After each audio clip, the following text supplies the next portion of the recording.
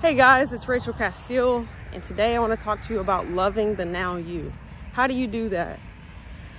Whenever you're looking at goals, things that you want to accomplish, things that you see you want to change in yourself, if you condemn yourself instead of loving where you are now, it produces bad fruit in your life that it's like a heavy hand of condemnation has forged you into what you are.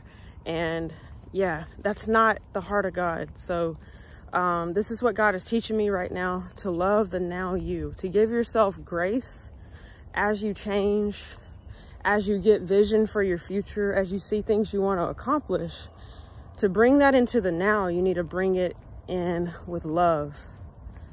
So one thing that's helped me is like germinating in the vision until it merges into my current reality. So that means I'm believing in the now me to be that person. So it's actually through encouraging myself and saying, hey, Rachel, this is the real you. What you've seen, that's who you are. You just need to love yourself more.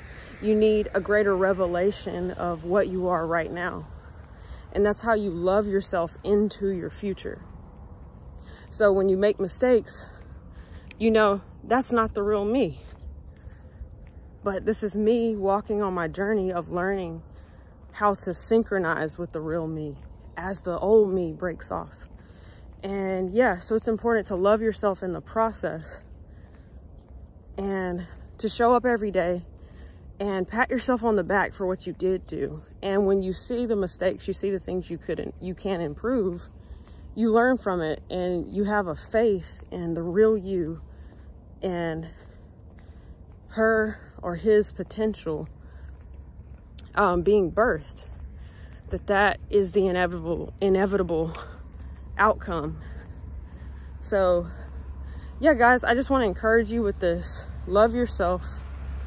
Find a way to sit with yourself in the things that you see and to be able to give that person a hug to hug the now you to love the now you as you're going for new things. Because it's not about getting to some place it's about upgrading how you see yourself.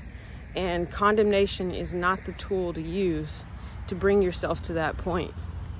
So yeah. Love produces good fruit so above all else above your impact on others what is your impact on yourself? What is your self-talk? So yeah, guys, that's it for this video. Thanks for watching and I pray you have a blessed day. See y'all next time.